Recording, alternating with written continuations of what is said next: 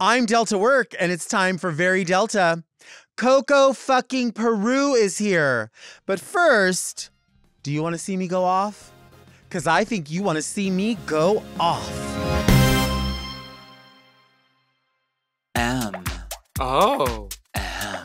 Mom! Are you a lady like me? Introspective, beautiful. Oh, are you intellectual like me? Beguiled by a bargain? You like wild times? Oh, like me? Are you serving the community like me? Well, if you are, then you must be very Delta. I'm Delta Work, and this is Very Delta, a luxury public access podcast and YouTube talk show where I look gorgeous, speak extemporaneously, and invite fascinating people to sit on the couch and get very Delta. Very Delta is for the woman who knows that steamy makeout sessions don't have to ruin your lipstick. But first, let's get into some things that are very Delta. Let's talk about how to behave in a dressing room, specifically when you are an entertainer. From my perspective as a drag entertainer, I feel like there are rules that go across the board. I have been in every dressing space imaginable. I've been in beautiful dressing rooms with tons of lighting and a private bathroom and rolling racks and uh, cheese platters and and cookies and all of these different things. Uh, uh, room for wigs. Uh, I've I've been in those spaces. I also did a gig many years ago at a really really cool venue, and it was in the middle of Colorado, and the dressing room was the ice room that was attached to an outside patio where it was raining. And in order to change in there, I had to close the door and it locked from the outside. So every time I wanted to get in and out of the dressing room, which there really wasn't a reason unless I was performing, I had to just use it as a holding area. I would have to knock on the door until somebody smoking would hear me knocking and then they could open the door. This is a real situation. So I've been in every kind of dressing room. And I think there is a rule I think there's a system of rules for all dressing rooms. First of all, no matter where you're going, you kind of need to know your place and how many entertainers are there. So you could show up to a place and they'll say, We've got five girls performing or five entertainers performing. Well, if there's five spots, you need to find out if you're the guest as as the guest performer, you need to find out which stations are already claimed and which one they would like for you to sit at. It is really not very cool behavior to show up to a dressing room and just kind of take over a spot, especially if you're a guest entertainer. I don't care if you're the headliner, I don't care if you're the person getting paid the most amount of money. If it is a shared space, you need to ask the person who brought you in which is the space that you would like for me to get ready in. And you really need to mind your P's and Q's within that space if you were to look in my suitcase, no matter where I go, I always have an extension cord, at least 20 foot extension cord, because these places may not provide you an outlet. Maybe you need a blow dryer. Maybe you need a makeup mirror. I don't know what it is specifically that you might need for electricity, but you have to bring your own extension cord. Even if you have it in a rider that says you're supposed they're supposed to provide it, you have to provide it for yourself because oftentimes these places will not acknowledge that they were supposed to do something like that. So, you know, you have two options. You either just don't use power or you just don't do the gig. But if you have your own extension cord, there you go. I would also say this is like one of my number one tricks that I don't think a lot of people do, but I have a handful of friends that do. And that is take yourself to Walmart, Target, Dollar Tree, any one of these places and buy yourself a door hook. And it basically is, you know, maybe around so big and it has a bracket that sits on the door so you can hang stuff on. Because you might be in a dressing space where you're crammed into a corner and you're like, well, I don't really have anywhere to put stuff. You can always hang stuff off of that. You can hang wigs off of it. You can hang a garment bag. You can have tote bags. Maybe you're this is a venue where you're getting tipped. You can open up a, a grocery bag, a reusable grocery bag, and your tips can go in there. a hook is amazing. I mean, I have two in my bag just in case. Uh, there's times where I won't use it for a month, and there's times that I will use it, you know, uh, for the entire month. Just depends on where I'm going to be. Um, that is super, super important to have in your suitcase. I, I, I also feel like when you go into a dressing space, you kind of have to realize that as a guest performer, which is usually who this is, this kind of storyline is going out to, is a guest performer in a space. Um, be aware of how much space you actually take up. You know, figuratively speaking, we like to say, like, don't be afraid to take up space. And that's very true. Don't be afraid to go places and make your voice heard, or don't apologize for your size. Like, these are important things. But when it comes to a dressing room, you really do have to be mindful of the amount of space you're taking up. Uh, if there's only, you know, if there's five tables, you're going to have to contain yourself to the one table if there's five entertainers. Don't think that you can just put your wigs on another table or you can put uh, your shoes on that table. Like you need to contain everything. And then if somebody says, oh, we're not using that table, you're welcome to put your things on it. That's an entirely different situation, a different storyline. But to make this assumption going into a place that you can have as much room as you want without asking, it's really kind of piggish and like it's really not the behavior that you want other people to see from you. I mean, unless you have no problem with people knowing that you're a pig and ill mannered, by all means go for it. And that would probably be your last booking there. Uh, another thing that happens for me that I think is, um, mm, I think it's questionable. And that is deciding when you need to blare music in a dressing room because that's how you get ready. Some people don't want to hear whatever music it is that you're playing. So when you make this assumption that uh, I'm the first one here, so I set the tone for the music. Like that's a little bit selfish. I think we should default to no music, and then maybe somebody goes, "Hey, does anyone want to hear some music?" And you say, "Sure," and then everyone goes, "I don't know what sounds good."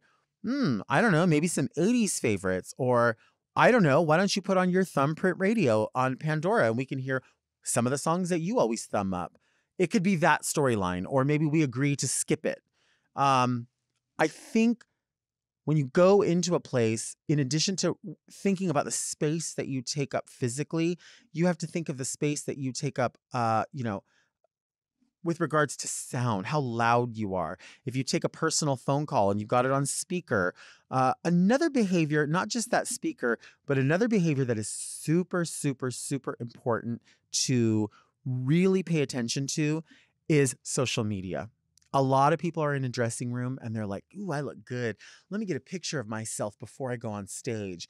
And they want to take a picture because they're in good lighting and they get that. And then they post it and they don't realize the person behind them um, is pulling a piece of duct tape between their butt cheeks and they have no wig on.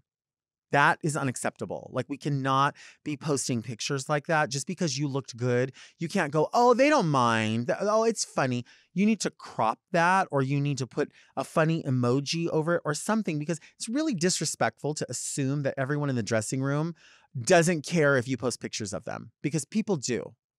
Sometimes people are in the dressing room and they're like, you know what? I need to go on Instagram Live. I do it all the time. I'm the person who loves to go on Instagram Live or TikTok Live in my dressing rooms. But I always peek my head around in the dressing room and I say, Hey, is everyone comfortable with me going live on Instagram right now? And there are times where people will go, Oh, you know what? Can you give me five minutes? Because I'm going to change and I know I'm in direct view. Or there's sometimes people go, Oh, yeah, no tea for a couple of reasons. Maybe they don't want people to see them without a wig on. Maybe they don't want people to see them before they do their number.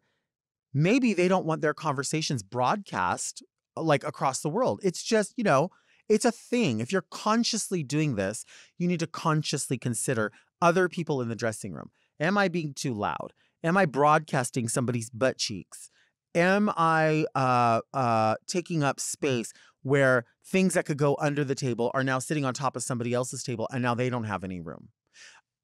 Please, for the love of God, if you're a go go dancer or you are somebody that's coming in for maybe you're one of the entertainers that's coming in to do a tip spot or whatever the case may be, please do not come up to a an please do not come up to an advertised paid entertainer station.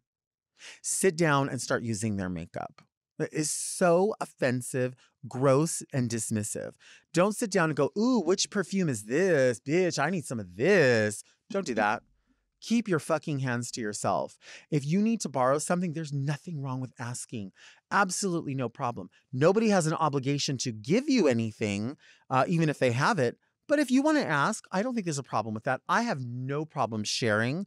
I love to let people use things if they uh, if they need it, because there might be a time when I might need something. But I don't like people absconding with or uh, running away with or telling somebody, oh, yeah, oh, I used uh, Delta's hairspray here. You could use it too. And then everybody's passing it around. Nobody knows who it belongs to. The end of the night, I pack and my hairspray's gone. If you want to use it, just ask me. Use as much of it as you want and then return it. It's so, so, so simple, honestly. If you're in a dressing room that has a private bathroom and you need to drop a deuce, please take that deuce to another bathroom in the venue. This is just like shitting on a tour bus. Wait until everybody stops. Like you can pee, you can do uh well, you can pee. That's it. If this is an extreme emergency, we get it. But by and large, don't think like, oh, when I get to the dressing room, I'm to drop a deuce so everybody chokes to death. Like, just have a little decorum about yourself. You know, everybody takes a crap. I get it. Everyone knows that. But if you're in a space that's that tight quarters and you know that there's another bathroom in the space, yeah, it's not as private, but you know, that's your fault for fucking uh, eating cheese when you know you're lactose intolerant. That's not my problem. Take that shit, no pun intended, to another bathroom. You know, I don't consider myself a prude. I really, really don't. I'm all for everybody having a good time, doing uh, adult things with one another. I think that's great. But nobody is impressed when you come into a dressing room and you try to like give oral sex to someone. Like if you're trying to suck off a go go dancer or you brought somebody in from the bar and you're like, ooh, look at us, we're dangerous. No, you're immature. That's not dangerous. Like if you want to floss, let everybody know if you want to floss, let everybody know the next day that that person paid for a hotel room for you to go have a good time in. Like not in the dressing room where everybody's stuff is all laid out. Like that behavior, that behavior is definitely like 21 to 23 year old behavior. It really, really is. I mean, everyone has probably done that kind of behavior or seen that kind of behavior and knows that, like, oh, come on, like that, that's really I mean, my God, in a dressing room. And then I think a lot of the people that do it are like, Did you see what I did? Did you see what I did? Can you believe I did that? Like, no, I cannot believe that you did that. I think it's really, really lascivious. I think it's really fucking low rent. I think it's really gross. I think if you want to hit it with somebody and you want to punch out to the car or you want to punch out to the hotel or whatever, but like doing that in the dressing room, it's a little bit degrading for yourself and for everyone around you. I think that is one of those behaviors that is just like, come on. Isn't everybody grown? I mean, we are all grown. Another behavior that is really questionable in general is just bringing your strange friends that don't know anyone else in the room into the room to just sit there and play on their phone. When the space is limited and you bring a bunch of friends to come hang out, it's really disrespectful. The dressing room is a sanctuary. The dressing room is like the locker room for drag entertainers. People, again, are going to be booty butt naked. People have all the money they earned in a night just laid out. People have their cell phones with pertinent information. People have medication. People have valuable costumes, uh, valuable laptops, uh, all these different things. The keys to their car might be sitting there, and you bring these strangers into a dressing room who think like, "Oh, this is fun." When something goes missing, the people that we're looking at are the people that you brought in here that never introduced themselves to anyone. Those are the people, and those people by default have made you the one who's responsible because you brought your fucking lousy friends in here. Don't bring your friends in here, especially when no one knows them. Now, if you're somebody who works in the show, and you're coming in to say hi, even though you're not there that night, that's different because you know the dolls. And because you're that girl, you're usually that girl that'll go, All right, I'm going to step out. I just wanted to come in and say hi. That's different. That's entirely different. But bringing strangers into a dressing room, whether or not they work somewhere else or, or you know them from X, Y, and Z, nah. We're not doing that. You're not bringing all these strangers in here. Not when my money's out. Not when my uh, I'm I'm trying to uh, put my tights on. Not when somebody over here is uh, not feeling well. None of that. This is a sanctuary for those who are working. The best food I've ever had in a dressing room was in Spokane, Washington, at a place called the Globe Kitchen, like the Globe Bar, the Globe Bar and Kitchen. It was at the Globe in Spokane. My friend Jeremiah Keevy brought me out there and they pulled out all the stops. The venue is gorgeous. They uh, videotape the show like on shoulder cameras, high def.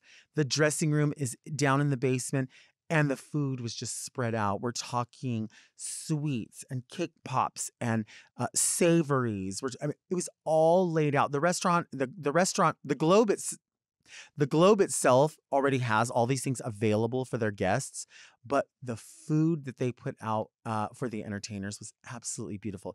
Jeremiah Keevy at the Globe in Spokane really pulled out all the stops. I mean, it felt luxurious. I mean, you know, as the show's like as you're getting ready for the show and you are like doing your makeup and as the show's happening you're not really eating it.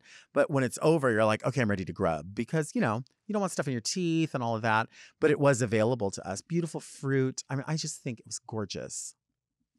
You know, I love the idea of a cake pop, but I feel like once you bite into a cake pop, it's like somebody already chewed a piece of cake and then just molded it onto a stick and then dipped it in fondant. Like that's what I feel like it is. I know a lot more work goes into it and I know no, no one has chewed it. I personally prefer to have my cake in a, a slice. If, if not a slice, a wedge. And if not a wedge, a, a pan full of cake. I want a lot of cake. I like cake more than I like pie. I love cake. I'm also like a person who, when I see something like a cake that has beautiful roses on it, and people are like, oh, it's too beautiful to eat. I don't think so. I think it is just beautiful enough to eat. And I, if you're cutting me a piece of cake at your party, you will want to make sure that I get a rose because I want I want as much I want a corner and I want that corner to have the rose on it. I don't want that middle piece. Don't play with me. I want frosting. And as much as I love buttercream frosting, I'll eat whipped cream frosting. I'm cool with it. Like I'm down with cake. You see what I'm saying? It, uh, there's a lot of food that people decorate to make it look beautiful because, you know, your eyes are just as hungry as your stomach is. And so people think, oh, this is going to be so beautiful. It's going to taste so beautiful. That's not always the case. Sometimes people spend so much time decorating something that the insides are not great. You know what I mean? The other day I made a Dolly Parton banana cake. And I was in such a hurry and I got so frustrated because the fucking things kept coming out of the the mixer. I forgot to put the milk in the cake. So we baked it and it came up just fine and frosted it. It was just fine. And I was eating it and it was like, like I thought I was going to choke to death, but I was eating through it because the the flavor of the banana was so good, right? But there was something wrong with the consistency. It tasted like it tasted like really cheap um, corn corn muffins or like a cornbread muffin. It tasted like the awful cornbread that you get at Boston Market. Like Boston Market by and large needed to be read for like a long time ago. Boston Market a long time ago needed to be read for their wretched cornbread. Like their recipe is so wrong. Well, that was what this cake tasted like the other day. And it was beautiful and it was and, and the frosting was nice. So I was trying to get through it, but it wasn't that beautiful. I was like, forget it, forget it. I forgot the milk. It was my fault. Do you want to see me take a break? Because I think you want to see me take a break. Coming up, Coco Peru gets very Delta. That's the T.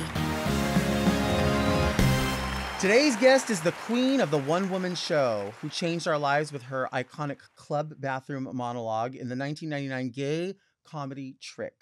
She's bitter, bothered, and beyond. Please welcome the gorgeous, the stunning, the legendary Coco Peru. Thank you. This is this is this the is what I was- legendary. Did Yeah. you hear that? Well, and you know why? Because everybody, every one of these kids always says, "Oh, so and so's legendary. Oh, this is legendary. Oh my gosh, this is legendary." I legendary." know. It does And get I'm thrown ar- around a lot. And I'm like, really? Because you know we are standing on a lot of shoulders out here. We are all standing on a lot of shoulders. As am I. See, Yeah. I, I, I think Charles Busch is legendary. Yeah. Charles Pierce, those were my heroes. yeah, Wayland sure. Flowers with Madame the Puppet. Yes, yes. Of course, your fans have no idea who I'm talking about, probably, right? But I think a lot do, and I Oh, think I think what I love about being able to have a a, a podcast or or a talk show or however people are consuming it is that they get to hear these these conversations and these voices and go, well, who is that? and then they go Google. They go Google it. Yeah, I'm thinking already about uh, Trick because for many people it was their first exposure to seeing a drag queen, but not just a drag queen, uh, uh, somebody who would have the confidence to you know pontificate to say something of value in that format. I mean that that's so legendary to people. That's legendary right? I mean that's how i see it. I well, thank you. And I had a great time doing that. It was a total accident how I made it into that film. oh wow. Really? And yeah, and so I um it, it was just and I was able to the writer gave me permission to rewrite his original piece. Mhm. So I added all that stuff in like it's big, it's beautiful, Wow. and you're gonna love it. It's something somebody actually said to me one night. And, um, wow Some guy that followed me home. Ooh. And uh, yeah, back when I was young and beautiful and didn't even know it. Oof. like he followed you home and it was a good thing it wasn't like something frightening right Oh, I wasn't frightened at all. I had, it was New York City, and I had so much confidence back Mhm. then that um, no, I was never spooked by um, that kind of stuff. I was, oh, I loved, I loved the attention. yeah You know, Yeah. um, it never felt dangerous to me. It may have been, but it never felt dangerous. And he was young and beautiful. Nothing happened, unfortunately. And if if I could go back in time, I would have dragged him up to my apartment. that's how you met people was like being at a bar and going you called your friend the next day and you're like remember the cowboy that was at the bar i went home with him Exactly. right or i have do you know what bdsm is i don't know girl but this guy's very into this and i'm gonna find out more that was how we connected Yes. I loved cruising Yes. back in the day. And there was a timing to it. mm-hmm. You know, there was like there were beats to it when you turned back. And and so every I remember when I hit a certain age and I I, I started to test it and it was like yeah, I realized cruise it's disappearing. Yeah. Like the beats were just not there anymore. Mm-hmm. But, so you know, weird. It, it is weird, but things change and grow and I had fun. You did have fun. I mean, I mean, I think we still have fun. You are the, in my mind, the the blueprint for what the concept of the one woman show. Like I've all in my coming up in drag, I've always known you as the person who always does one woman shows. Like that's what you do. Like when you hear of like when people say P Town or they say I'm on tour or this person is doing six dates. Like I always think of yourself. I think of Varla. I think of Bunny. I think of Right. people that I know as the legends who were like, um, I I've never felt those people like looked down on people who do weekly drag shows, but they're people that like yourself who have a lot to say. And so you just format it. What is the magic to that? How does somebody know that they can do that? I went to school in college for theater. And while I was in school, they used to do these cabaret shows. And Jonathan Larson, who wrote Rent, was the musical director. Oh, okay. And they were always politically driven, Mhm. but comedy. Mhm. And that just appealed to me. And so when I graduated, I and we also had to write a one person show in college and that also appealed to me. So it was all coming together. And then drag drag came into it because um I wanted to be an activist, an AIDS activist. And I went to my first um, ACT UP meeting. I had the t shirt. And um, I was so overwhelmed by the rage in that room. I was very young. Right. And these people were, there was a lot of infighting at that point, Mhm. even within ACT UP. But to be in a room full of people that desperate, uh, and I already have so much rage that I learned to suppress it in order to survive, or I learned how to channel it in ways that were appropriate. Mhm. And stepping into that room was so overwhelming to my young self Right. that I couldn't handle it. And I left that ACT meeting going, I know I'm never going back there. And I was Mm. devastated with myself, very disappointed. But I thought, how can I change the world? Right. I know that sounds pretentious, but that's the way I thought back then. And I thought, storytelling. Storytelling has the potential to change how people feel or what they might perceive you to be. Right. And so I started writing and then I just I added the drag into it and I just decided that I was going to embrace everything growing up in the Bronx that I had been told was wrong with me.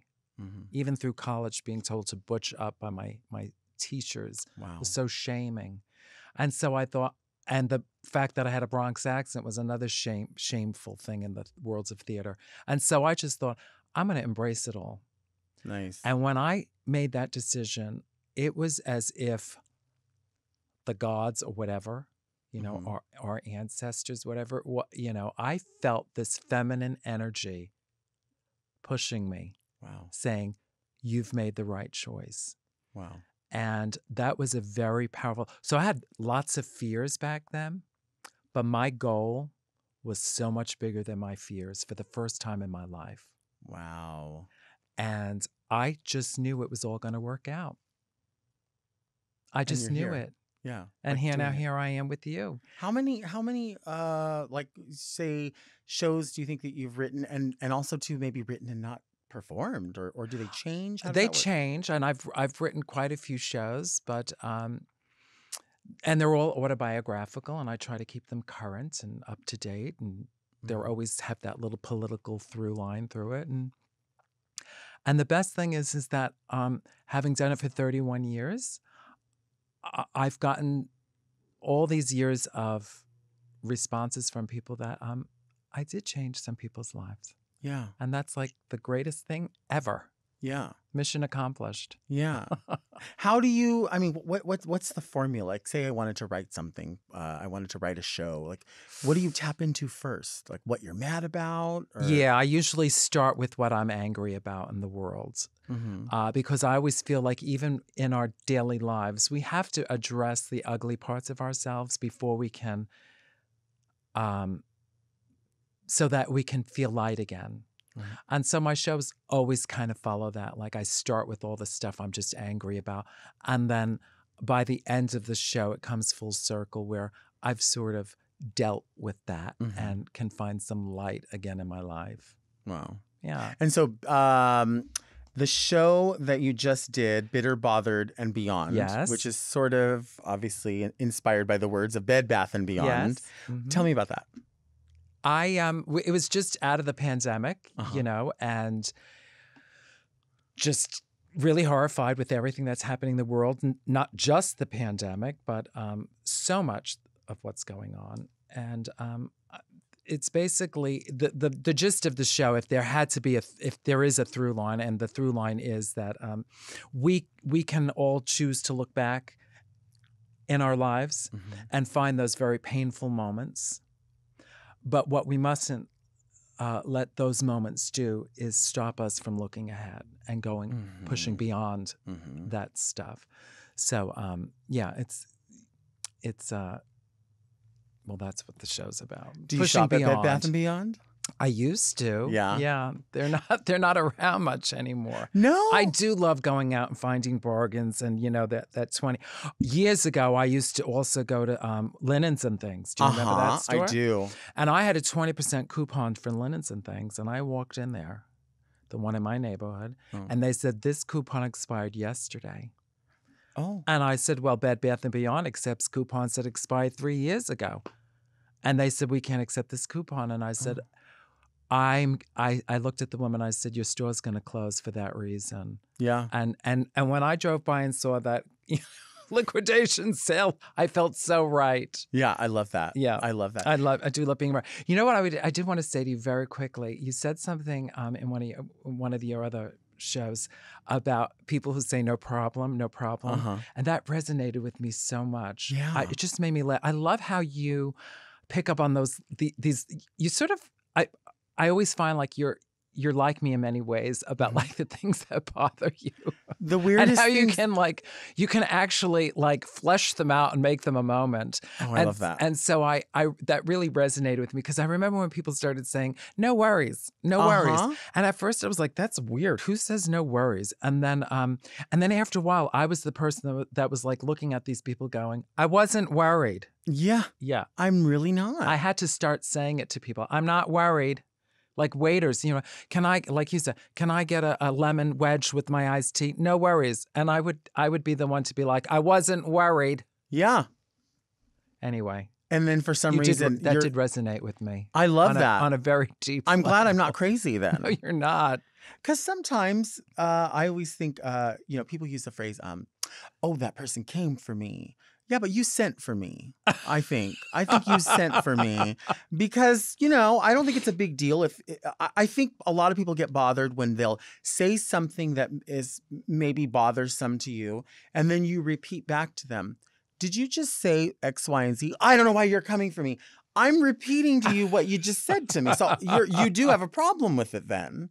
You do know that that's questionable. I don't think people come for me that often, though. No? So no. Now that I'm older, Do you uh do you like almond roca? I do. That's a. Is that a Spanish product? It is uh well let's see. It says product of USA. Oh, okay. Yeah.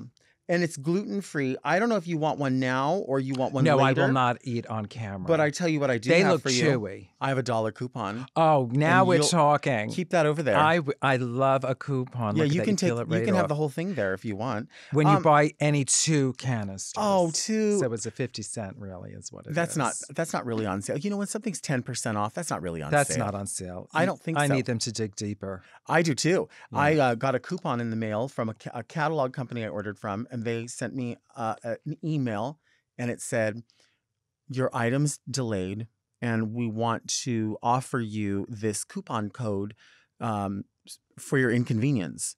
And it was for fifty cents off, and I had thirty days to use it. Well, this is like a hundred dollar order of I don't know, like the what do you call it, Fa- fast fashion dresses or Yeah, whatever. Yeah. And I thought, 50 cents? the hell am I going to do with 50 cents?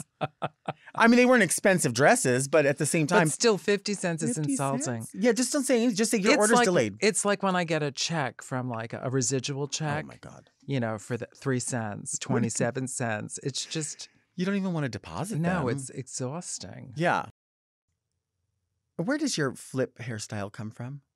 Is it something you've always loved? Well, I used to have big hair when I started as Coco. It Uh-huh. was very Ann-Margret. I love. And I was young and pretty, and people always said, You look like Ann-Margret. And you know, it's like, anyway, the guy who did my hair did it for free. He was a friend. Nice. And I would bring my wig up to him all the time in Westchester, and I never paid him. Mm, mm. You know, I wasn't making. Sometimes there were nights where I would make such little money, I would have to go to my checking account, pray money would come out so I could pay my p- piano player. Ah, I understand. You you. know? Okay. And he did it for free, and then I would I would get out of the car, and he would see me walking towards his shop with the wig, and I would see him roll his eyes. Oh my God. Didn't stop me from going in with the wig. Right. But it did get to a point where it's like, and I have no talent when it comes to makeup or hair. I mean, you. I. I don't believe that because That- I've seen your wig on true. rollers It is before. true. Oh well, I mean that's why I chose something so simple. Mhm. But when I first put the flip on, I had that moment of, oh my god, this is Coco. This is this is it. Uh-huh. The other thing is, and I've talked about this before, but I've always been drawn from when I was a child to silhouettes. Mhm. Sometimes I was more interested in the shadow than what I was watching. Okay. You know, the shadow that was being created. And also, uh, you know, Barbra Streisand was always made fun of for her nose. Mhm. And then she would come out with this album with just that silhouette. hmm I found that so empowering. Or Liza Minnelli, you always knew it was her, even when it was a silhouette. Right. And so I wanted to be recognized for my silhouette. I love that. And and you are. I mean, everyone knows. Yes. And so I do believe that um, when people see a flip now, I have people send me pictures of that shape that they see in a noodle, in a Oh, that's so cool. box, you know, everywhere, shower hooks. And so I have a whole collection of photos that people have sent me Mhm. of that that that shape. That Yeah. they see Coco in everything. Well, I don't think people realize that getting such a severe flip to be so consistent is something that has to be managed all the time because you can curl a wig and then you can sort of get it to flip up, but you kind of have to like you have to tease it and then press it and do all that in order to get it. And but the way you have it, it it it there's movement to it, Mhm. and I know that you have to set that and be diligent about it being on rollers and then be taken down when you're ready to wear it. yes, People don't know that. Yes, I I have my little system. Yeah, it takes a lot of work. It really does. Drag is not easy, as you know, and uh, I find it exhausting at this age. Yeah. You know, to put it all on and and then having to come back to your hotel and take it all off is not fun. Do you um do you have like a, a like a way of getting ready? Like do you like to be say in the bathroom or a, a place where you sit? No, I like people- to sit at a desk like this. Uh-huh. I have my little mirror because I can't see anymore. Oh, and I understand tried. I I tried the contact lenses, and that was a disaster. I Mhm. screamed at the woman that put them in, and I was. And then she she said, "Would you like to try taking them out?" I said, "Get them." out." We well, I was just about to curse. Can we curse on this show? You can say whatever you want. Oh, okay. Well, I won't curse now because I've lost the moment. But I did do a, a show recently where I said shitload, and they had to stop recording because that's a shitload is a bad curse word according to Oh, Fox, you were on. Fox News probably. For yeah, me Yeah, and Fox where you were. News. Yeah, sure. Let's take a break. Very Delta is a proud sponsor of Almond Roca, the original butter crunch toffee. Savor the sophistication. And we are back with the legendary. I'm going to keep saying legendary because I feel like I'm in the position where that that word applies. It 100% means um it, it, it just it applies to you and, and and I don't feel like it applies to that many people. Legendary isn't just somebody who's been doing something for a long time or somebody that uh you know we talked talked about your silhouette and that is legendary too. But you're legendary because you are not afraid to speak up about what needs to be spoken about. You know, as I said earlier, I was I Coco was born out of this need to be an activist. Right. And when you're young and in your 20s and your friends are dying and you're seeing people just Right. really get really sick, it does it can't it affects you. Especially when you're living in New York City at like the epicenter of it all. Right. And so uh, activism has always been a part of who I am and, and saying, uh, you know, I, I can't separate it at, from Coco.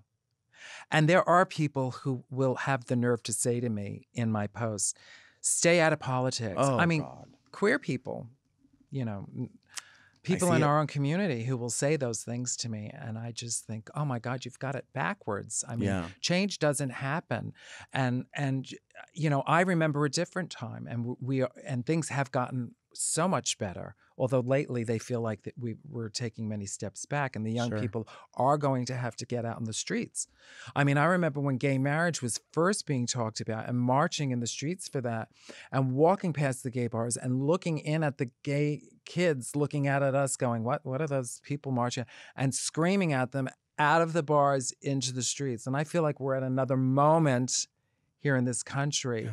where we do have to start getting back in the streets. Although my feet now are just maybe not up for it. But you younger people have got to get, Right.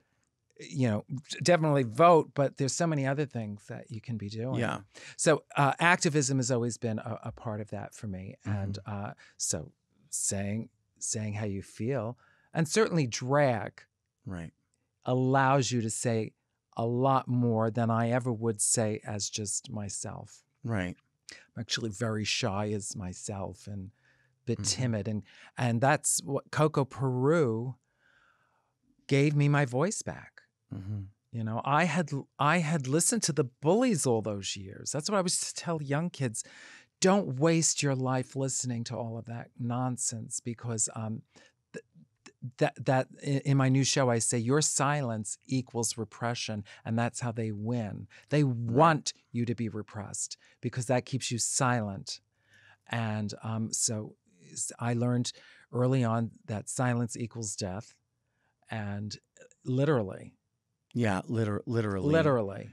It's um it's it's so scary uh t- to see uh when Raja and I um lightly will refer I don't know how it came up in conversation but somebody was like uh it was like a label thing like top bottom this that and we said we're elder femmes to these to, to the people that were like 20 years younger than us you know and because we were like well they're 20 years younger that means they're old enough to be our children so we are elder femmes to them but there's other people that are elder femmes to us and then maybe one day they will be. So there's this thing where we look to uh, elders that doesn't in my mind mean old just older than me or a generation around that have no problem speaking up regardless of these other voices that are saying don't get into politics like which of course is so demeaning because it's saying i know that you are just a clown like that's what that says it's like you're purely Yeah, for stick entertainment to entertainment. They they actually say that. they to me, say those stick words. to entertainment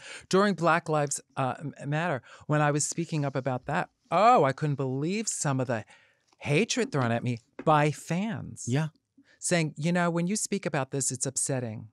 It's like, well, yeah, you yeah should you should be upset. be uh, you should be so upset. You should be really upset. And there's really only a handf- handful of people that do drag that that aren't afraid of it. They're, they're not afraid to speak up or, or or or say something or just use the platform in a way. And then and by you doing that, it just really sets apart um, the difference between legendary and famous. Oh, like I think thank I you. think that adds to it. There's people that are wonderfully famous and beautiful and and and and, and do all that and people are like oh i love that drag queen you you do that's good but what are they how are they concerned about you or are they not you know, this is this is a little corny, but um, whenever I get caught up in the fame thing or in the Hollywood stuff of comparing myself to other people or feeling like, uh, you know, I didn't get that role or I, I, sh- you know, just I, I'm human and people, you can get caught up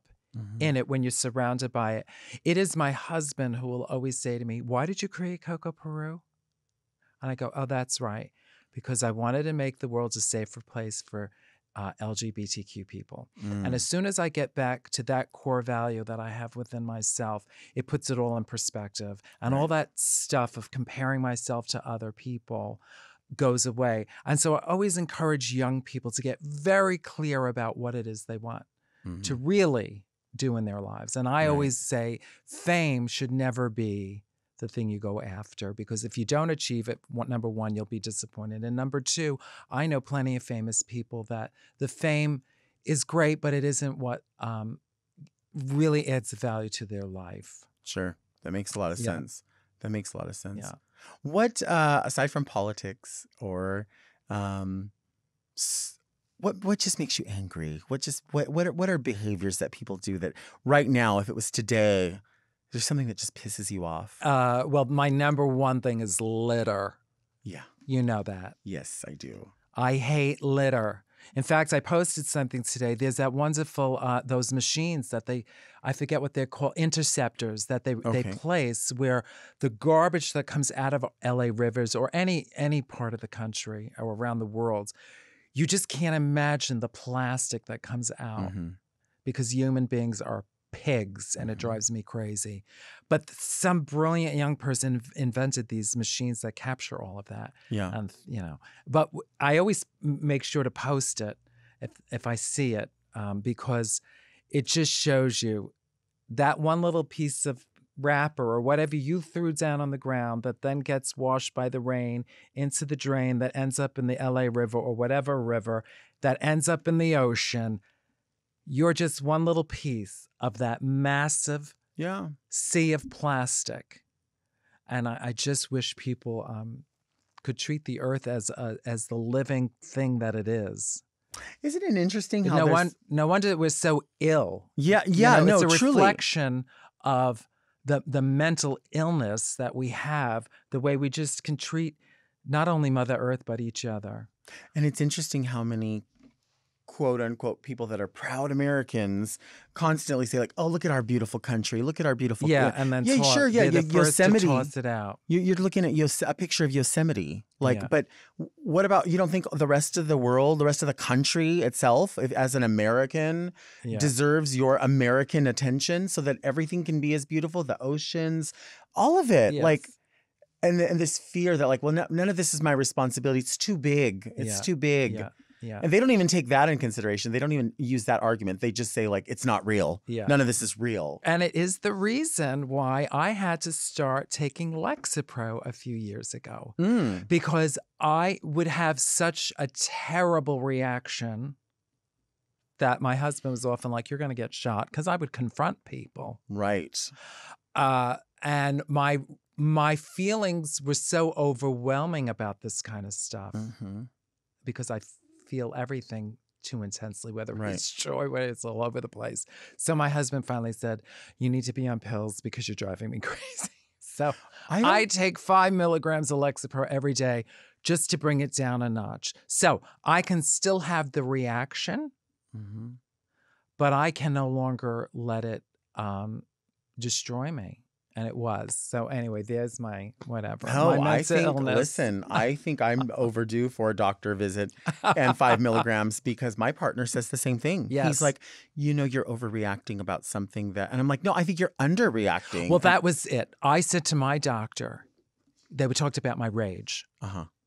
And I said, Well, I, I have to tell you, I'm a little bit outraged that not everyone is as outraged as. I am.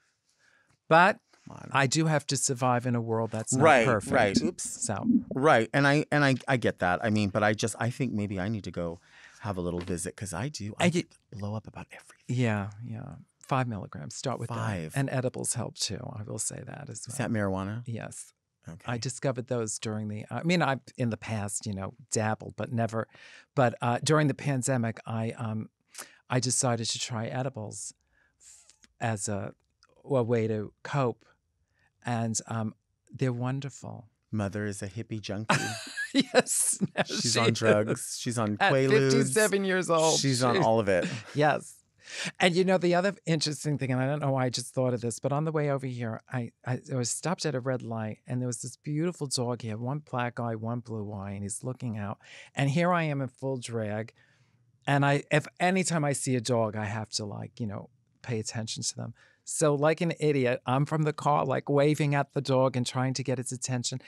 And she or he is looking at me. And I just, you know, he, he was curious. And I thought, look at this dog that has no judgment. hmm Or like the, the dog that was outside earlier, no judgment, just full Uh-huh. of love. Yeah. And I thought dogs are incredible. And Oh my here we are in this country where drag bills and anti-trans bills, and I just thought, why can't we all just be more like dogs?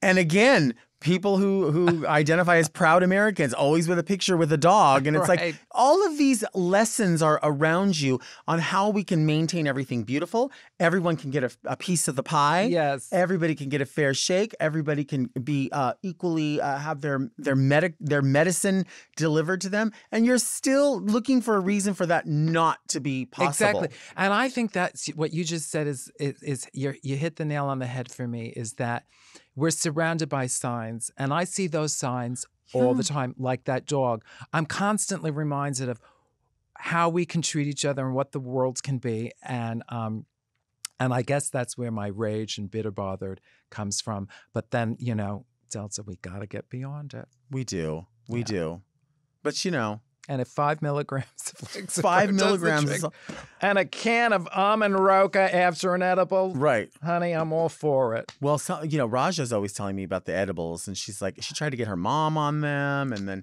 you know, generationally, some people are like, no. My mom, Yeah. I, I mean, I remember when I was a kid, my mom and my dad, they were they oh they had a bong in the house. Oh, they were, really? No, they not- were very yeah, hippie, not hippy dippy, parents. Yeah. and they uh uh, but they were all. My mom was always like, "Yeah, that needs to be put away. He shouldn't be seeing that." And Oh. you know, it was always that storyline. So, um, but yeah, my mom, my mom's a hippie anyway. I agree, Right. and I just um, I'd rather be around people that are a little bit high than people who are drunk. I Yeah. can't stand drunks. Yeah. especially at my show. Do they get messy? No, not usually. People who usually come to see my shows know what kind of show I do, and that you really have to pay attention. But Oh. every once in a while, you know, someone has way too many. Do you get people that try to heckle or try to join the thing and you're like, this is not a conversation? Oh yes, yes. How do you every deal now with and that? then, I I just I I shut them down. Now, if they're drunk, it's it's a little harder, Right. and I will every now and then say, uh, one of us is leaving. I'll let the audience decide who should leave, right. and then of course everybody turns on that person. Right. Um, and I hate having to do that. Right. It's not fun.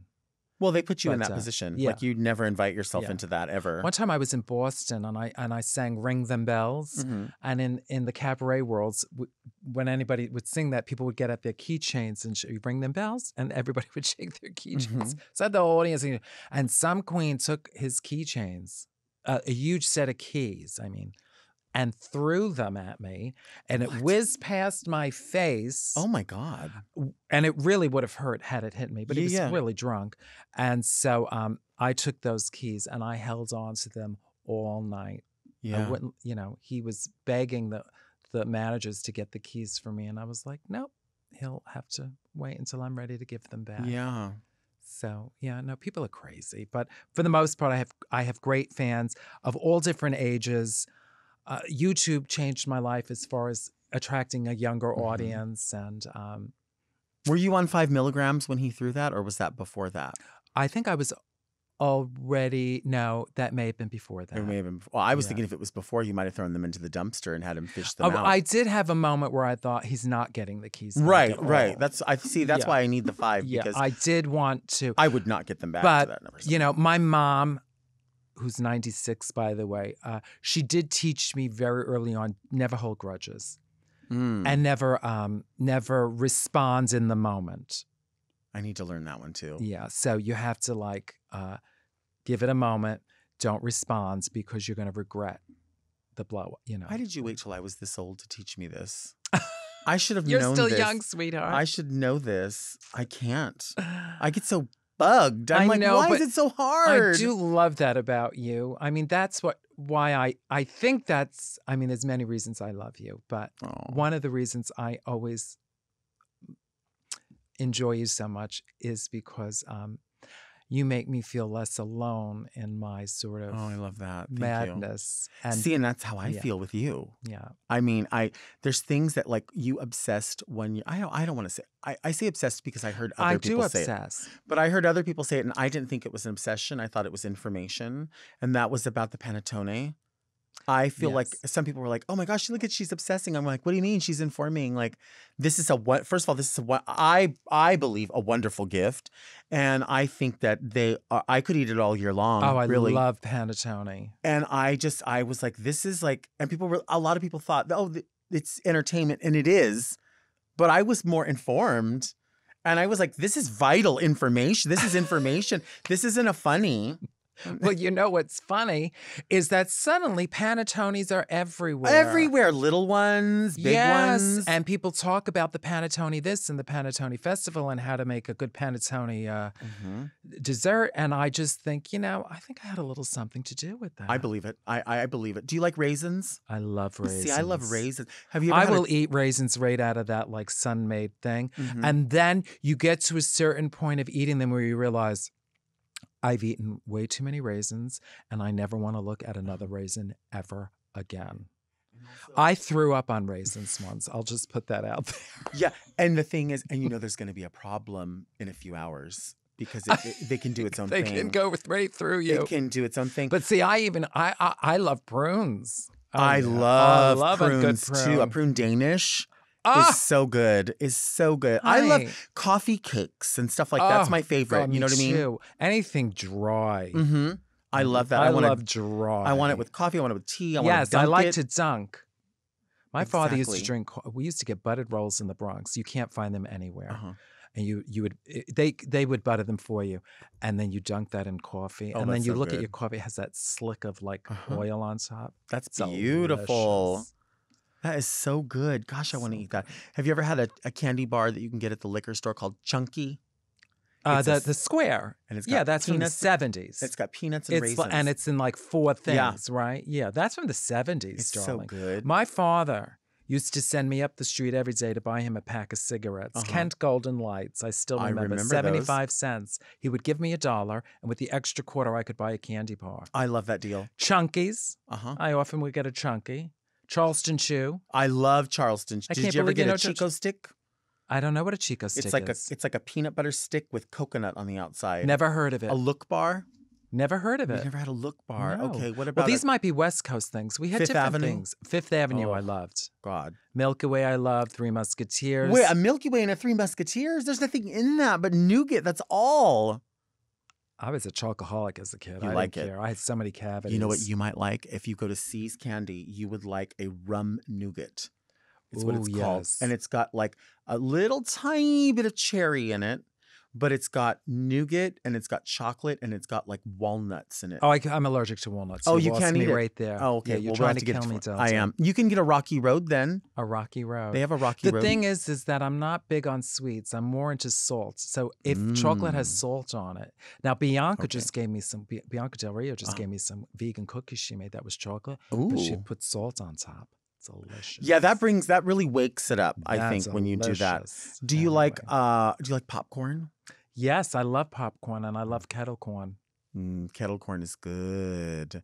This Target by my house used to have uh one of the little old kind old timey like a snack bar Uh, and they always had regular popcorn and kettle corn and they would have a big bag like this yeah, for a dollar 75 yeah. and you would get it while you shopped.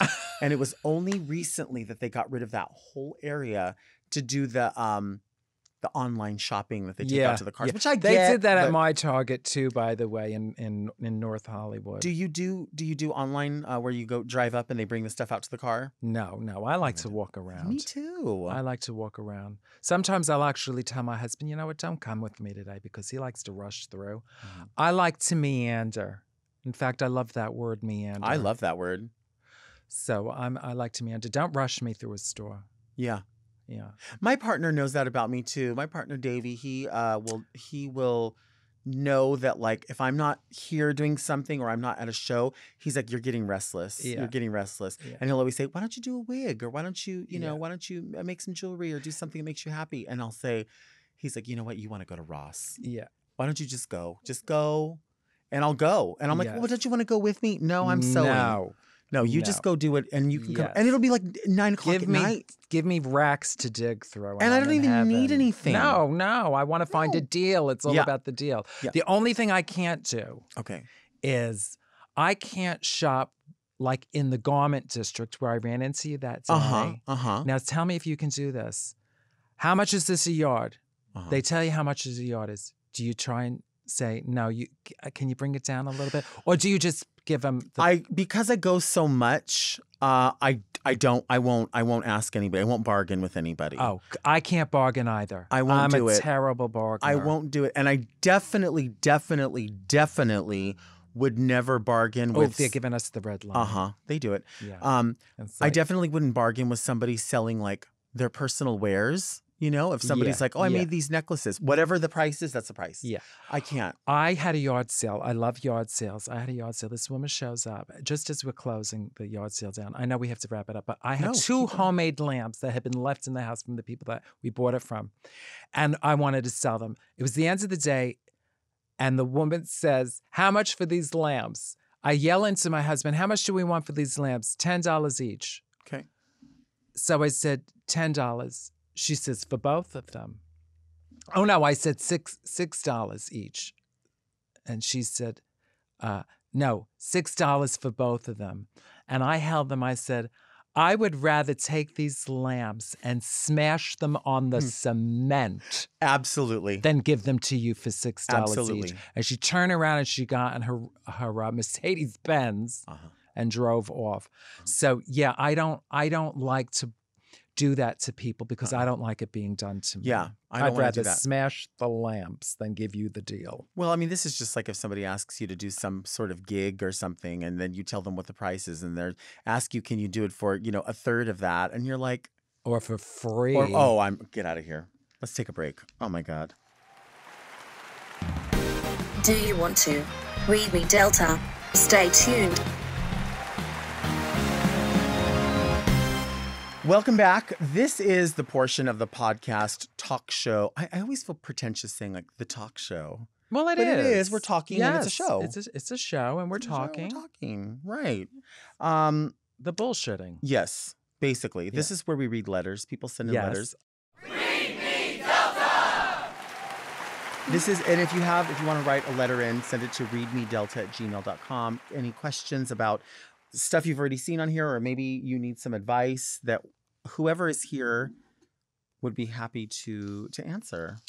Um, let's see what we have. You like here. my husband with the letter opener. I love it. He only opens things with the letter opener. I love. I you know, and he gets so mad at me because I tear things open. really. He gets so mad at me. Well, sometimes I forget, and then uh, I forget to bring it, so I have to use a makeup brush. Uh, And then sometimes. I go too far in, and it tears the letter. oh, you just did it. I just did it. uh, but it's only that's the that's the yucky part anyway. Okay. Dear Delta and fabulous guests, why do people watch cop propaganda rape shows like SVU and CSI before bed? That can't be good for your head. I love watching your talk show and podcast when it premieres a day early on Mom Plus. Thanks, Shoba. wow. Do you watch uh, any kind of shows like that? No, I don't. You don't like I that? well, but I do watch true crime things, Mhm. and it's funny because um, there was at one point where we were watching a little too much true crime, Mhm. and my husband and I was sitting on the couch, and at the exact same moment, we looked at each other and go, "Are you creeped out? Like, are we watching too much true crime?" Mhm. And so uh, we had to back off of it for a little while. Really, Yeah, but I, I like I love documentaries. Yeah, the best. Yeah. the best. documentaries for me are the be- uh, I just love getting into people's lives.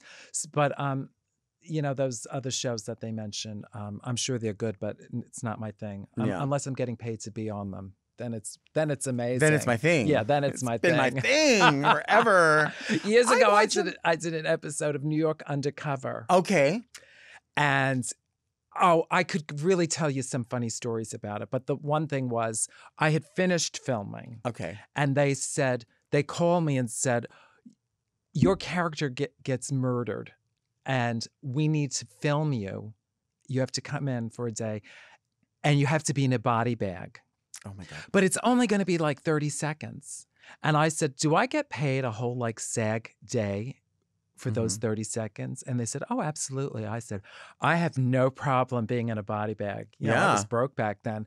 And so i think when if i if i remember correctly when they zip me up, I have a smile on my face because I'm just thinking about I'm getting You're paid getting good money, money. to lay here dead. That is so funny. Yeah. And the other moment that I'm really proud about about that New York Undercover was there was a scene Uh-huh. where after I'm look like Coco Peru and carrying on like Coco Peru, where my character was supposed to say I'm straight, Uh-huh. and I said. That's a different thing. I'm a drag queen. You might be talking about court. They were like, "We did our research." I was like, "You did your research, but it's not correct." Right. And I'm not, as a openly gay man and carrying on like a gonna now say I'm straight. If kids are, you know, so I stopped production Wow. and refused to work until they re- rewrote that line. Now it was filmed in New York, so they had to wait for Los Angeles to wake up oh and for those writers to come in before they could change it. Is And that I really was- how all that works? Yes, and I was very proud because there were drag people and trans people on set who came up to me and, and thanked me and said, "Girl, that was Yeah. that was gr- we can't believe you had the guts to do that." That's epic. Yeah. Yeah, Le- that's legendary status. I mean, I don't. I at the time you were speaking up for yourself and what you thought, but the- yes, but I, I I it's almost like I look back on those moments sometimes when I've been like that and I think, how did where who did I think I was back then? You know, but you, you knew who you were. That's Yeah. the thing. That's what's that's what's exciting when people see hear this. They can realize like there are things to speak up for, and and when we really have to um, understand, you know, there's a big war. And there's a lot of little battles, and you really, I mean, we really do spend our lives trying to pick and choose these battles. But some people, it's like you're on the wrong thing. yes, You're on the wrong thing. Yes. It's so I address a little bit of that in my in Really? my new show. Okay. uh, about some of the yes, exactly Yeah. that. There's so Yeah. much of that. I um I I actually love these kinds of shows. Um I never I always wanted to be in like um do like TV show appearances in drag or where they're like we need a drag queen for this. And I always wanted to do that but I never really knew how to do that, so I just Mhm. never did. One time I got to do something and it was with Willam and uh, I don't know if you are familiar. He lives in Palm Springs. Kevin Wiley, who Mhm. uh, is a Dolly Parton and Reba McEntire yes, I know. I know Kevin. You know Kevin. Mhm. Um, Kevin did it. Venus D-Lite. Uh, this was before Drag Race, and Chad Michaels, and Mm-hmm. it was a show called Women's Murder Club, and we did an episode of that. And and Chad was more the the main role along with Willam. Willam was the show host. Chad was supposed to be the star of the show, so they did mock up pictures of like Yeah. whatever her name, D- D- Dakota Michaels, or, you know, that kind of a thing. And um, me and Venus were, and Kevin were all teamed up with like male counterparts that were supposed to be our dates at the cabaret show. And um, somehow I knew like they were going to team me up with like the older guy that looked like, uh, hey, I got the money. like he had a, paper, a, a clip like this. And so that was the guy I was with. And then the other two were with like young 20 something guys. And I was like, Uh-huh. whatever, I'm fine with it. I actually like that storyline. Um, but I remember Willam saying, like at that time, because she was had already done a lot of stuff like Yeah. that, and was saying, like, you know, if if there's water involved, that changes the price, and if this is involved, and if you don't take your break, and she was so well versed in that, but would share that information with people that didn't know, Yeah.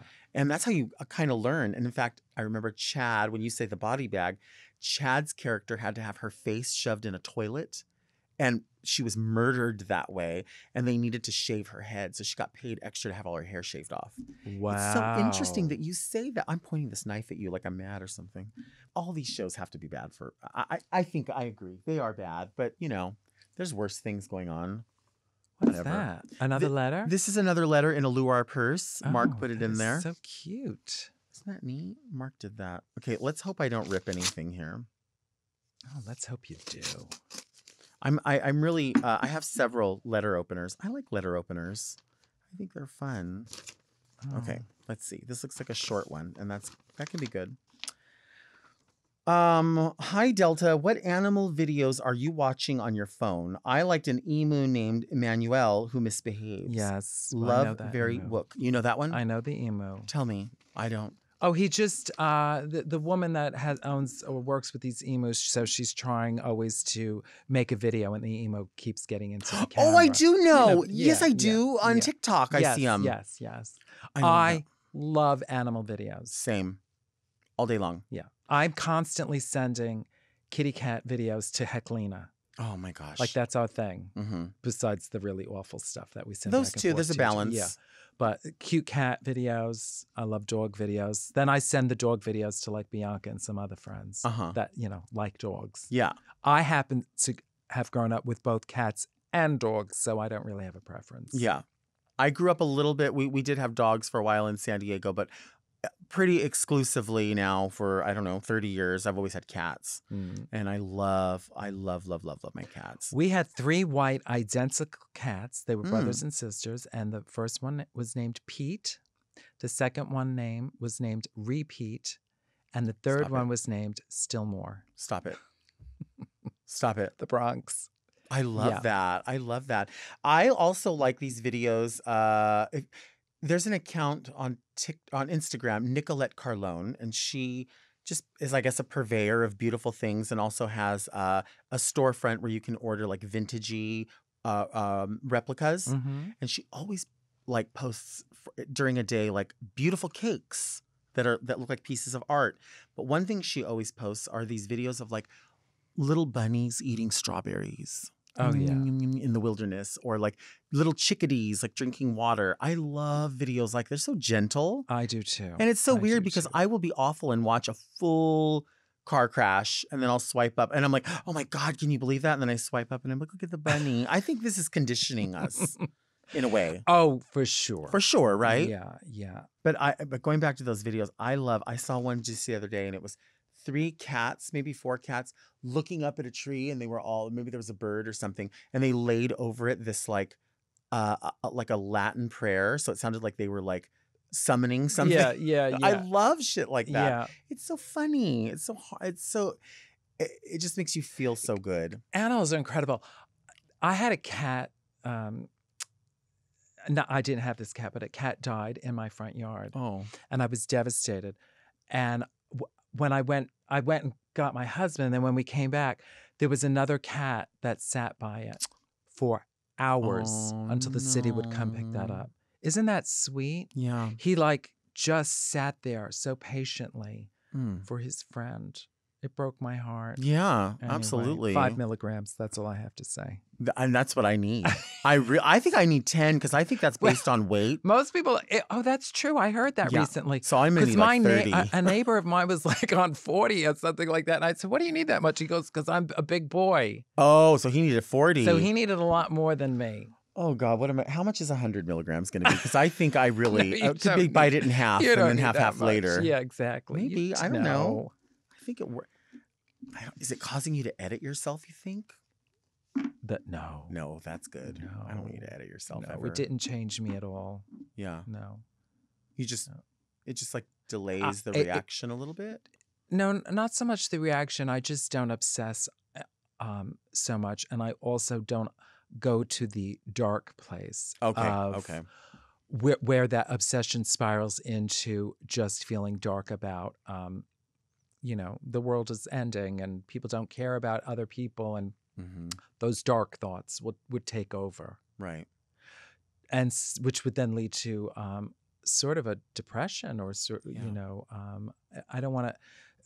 I don't want to say a depression for people who really suffer depression, hmm but th- it was it, I could go to a dark place Right. and it could last for days, Right. you know. Um, I'm so wearing the earrings that you gave me. I don't know if you see that, but they go with my necklace. I'm happy. Yeah, I had this. I did a little uh, clean cleaning up of my Coco stuff, Mhm. and I got all those dresses I bought at Ross and one. I've just I've just literally the, everything's now in, in my garage in bags. Uh-huh. Probably going to donate half most of it. Yeah. And um, I dug through some of my jewelry, and I thought I thought of you. I said I'm going to give this to you today. They're perfect. So I mean, I, just- and I have to tell you something that you had no idea about this. I was like, I really want to wear this necklace, and because I like this dress, although it's moving around weird, I think I'm wearing the wrong bra. But uh, I wanted to wear. I felt like it coordinated, and I said, I don't have an earring that's like irreverent enough to go with this because this has no s- exact storyline. Right. It's not f- overtly feminine. It's not really vintagey. It's kind of like a artsy sort of piece. And then when you were like, "Oh, I have these ear," I thought, "Oh my gosh." I didn't know what I was going to do for an earring. I thought I could just fix my hair so no one saw it. But now that they're there, I'm like, I now I have to wear this all the time. That's great. I love it. I love That's it so much. That's the magic of drag. It is. And that's what the other thing I always tell young people is that don't overthink stuff so much. You like Mhm. the magic is in just doing it Mhm. and and and trusting that it will that's that was my process for creating Coco Mhm. was that um I just threw myself into it and trusted that it was all going to work out. And so sometimes when you do that, those little magical moments happen. Right. Like, hey, I'm just going to throw on this necklace and and then the earrings appeared. And I and I think what's beautiful about that is like it, it, it's uh it's in a it's in a literal sense. Yes, it worked, but in a figurative sense, if you take that with you and realize that uh you know this can be applied as a philosophy all the way across the board. Yes, and that's what people I think learn from drag Mm-hmm. is that rather than living in what society says you should be, drag queens who are so courageous and have lived through lots of stuff to get to that point where they cross over into that realm of drag and that freedom Mm-hmm. and that liberation. And we learned something very valuable that you can apply to everyday life Right. is that you chose to be Delta. Mm-hmm. You chose to create Delta. And in creating Delta, you're living in that moment. Mm-hmm. And that's something we should do every day of our lives. Right. We get to create our experience here on earth.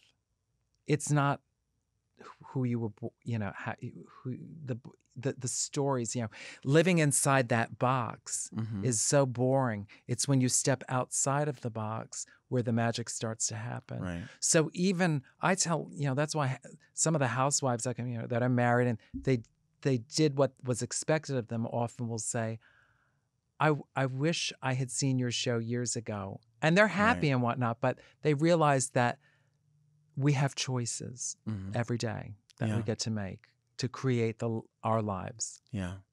This is, I mean, this is, this is mothering. This is mother mothering. Like this is really, and I, I, I, I have so many uh, contemporaries from Drag Race that that all always say like, the panel of Drag Race would benefit so greatly from people like Coco Peru and Jackie Beat and Varla Jean Merman and Sherry Vine and all Lady Bunny being on the panel judging and mentoring because they have been walking in these shoes for a very long time and have been working for free and paying piano players out of checking accounts and uh, ha- have been there and done that and in this way can mentor and say i see what you're doing because i was there before Yeah. I know what you want because I can tell by the way that you're behaving. It's a way that I behaved before and could offer that advice. And we all, we all always say, like, why are the legends like we need the legends on the panel too to come up and say,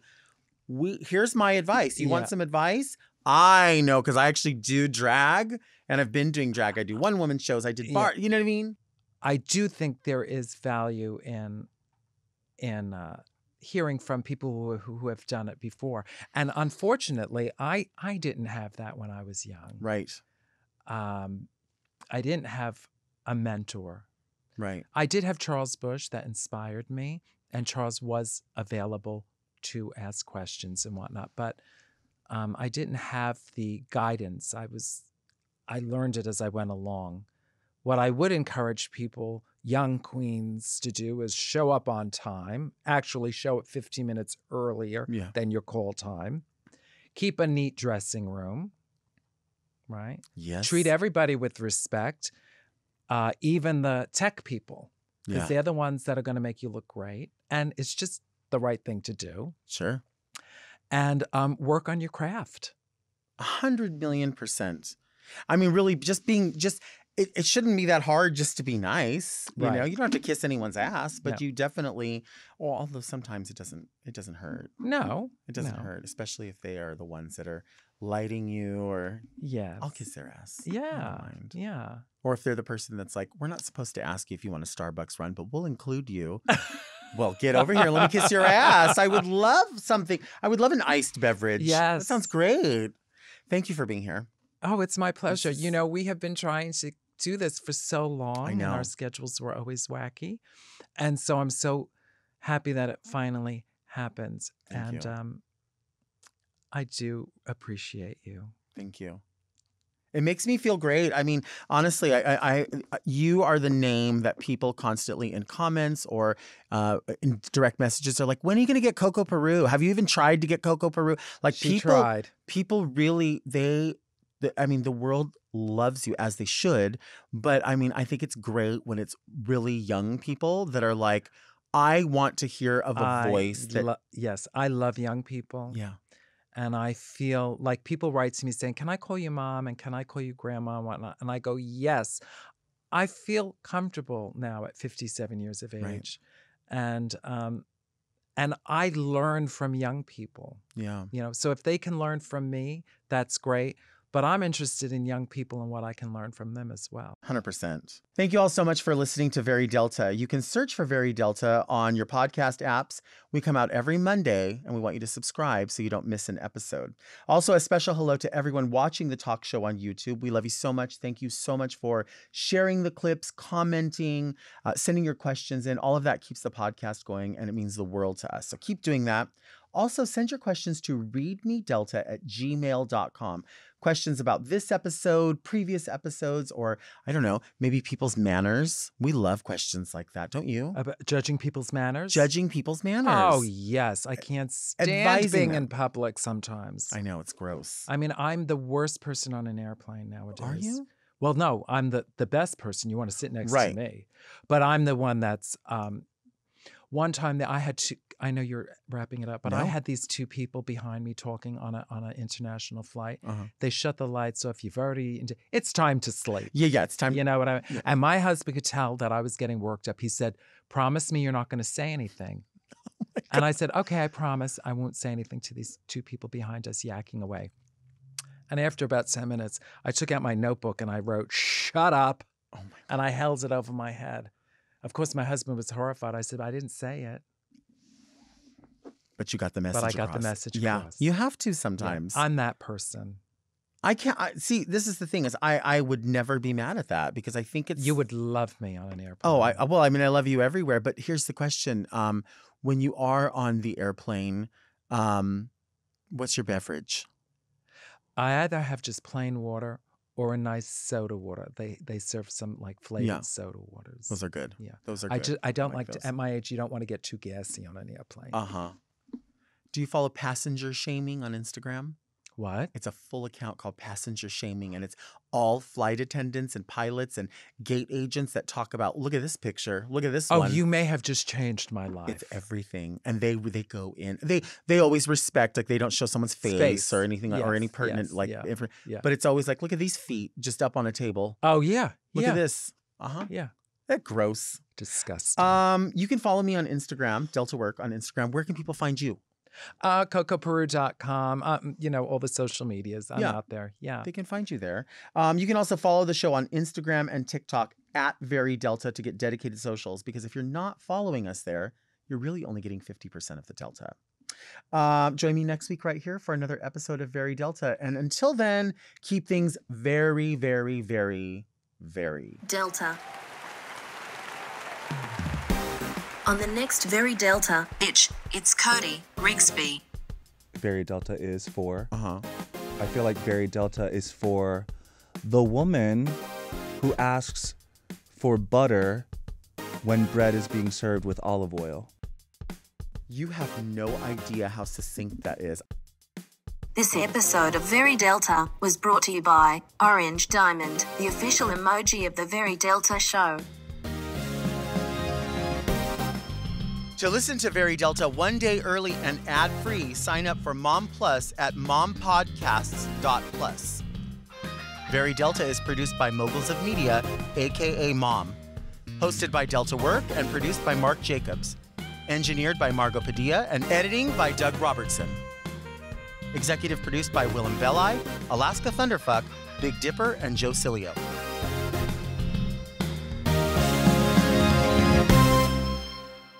Hi, it's me, Delta Work. Do you like to see me go off? Well, if you do, hit subscribe, turn on your notifications because we don't want you to miss any of our Mom Podcast exclusive content.